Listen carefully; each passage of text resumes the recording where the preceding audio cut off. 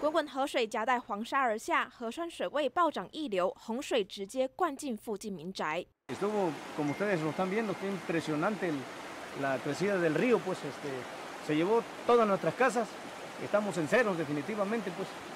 热带风暴维森特沿着墨西哥西岸一路北上，周末为南部的瓦哈卡州带来强降雨，造成大范围淹水灾情，超过十个人不幸罹难。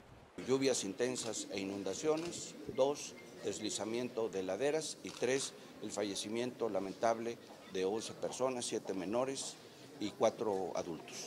连狗狗也被突如其来的洪水吓到直发抖，不断哀嚎。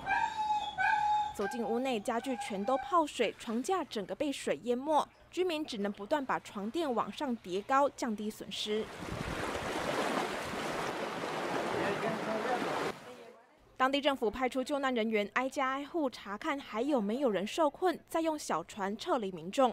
热带风暴维森特威力正不断减弱，不过更要严阵以待的是墨西哥中部地区。四级飓风威拉以将近五级的威力正步步逼近，威拉的风速高达每小时两百五十公里。美国国家飓风中心警告，恐怕会带来致命性的风暴潮和强风大雨，预计当地时间周二下午就会登陆。大爱新闻黄静婷编译。